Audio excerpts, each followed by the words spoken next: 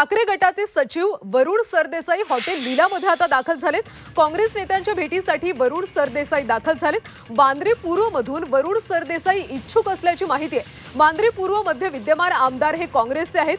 जिशांत सिद्दीकी हे आमदार आहेत. आणि तिथे आता वरुण सरदेसाई यांना विधानसभा लढवायची आहे. त्यामुळे आता काँग्रेस नेत्यांच्या भेटीसाठी वरुण सरदेसाई हॉटेल लीलामध्ये दाखल झाल्याची माहिती आहे ठाकरे गटाचे सचिव असलेले वरुण सरदेसाई आता काँग्रेस नेत्यांच्या भेटीसाठी दाखल झाले.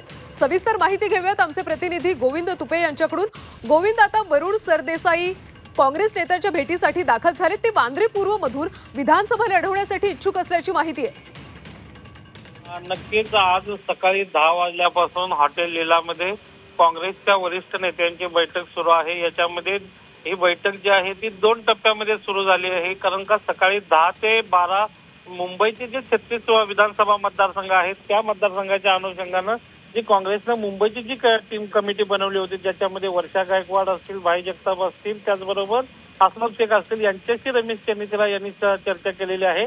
आणि आता पुन्हा राज्याची बैठक सुरू झालेली आहे. परंतु त्याच वेळेला शिवसेनेचे ठाकरे गटाचे जे सचिव आहेत वरुण सरदेसाई जे उद्धव ठाकरेंचे मावस भाऊ पण आहेत ते आता या ठिकाणी हॉटेल लीलामध्ये पोहोचलेले आहेत आणि काँग्रेसच्या नेत्यांच्या भेटीगाठी घेत आहेत. त्यामुळे कुठेतरी एकीकडे त्यांची जी इच्छा आहे की या ठिकाणी वांद्रे पूर्वमधून निवडणूक लढवण्याची आणि अशाच परिस्थितीत काँग्रेसच्या नेत्यांची त्यांच्या वाढलेल्या भेटीगाठी त्यामुळे कुठेतरी त्यांची जी सुप्त इच्छा होती ती लपून राहिलेली नाहीये. त्यामुळे वांद्रेचा जो आत्ताचा जो विधानसभा मतदारसंघ आहे तो काँग्रेसकडे आहे इसन सिद्दीकी आता तिथून आमदार आहेत.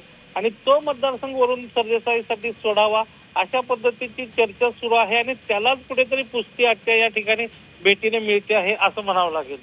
नक्कीच त्यामुळे आता वांद्रे पूर्वमधून वरुण सरदेसाई यांना विधानसभेची संधी दिली जाते का हे पाहणं महत्वाचं आहे. धन्यवाद गोविंद या सगळ्या माहितीसाठी.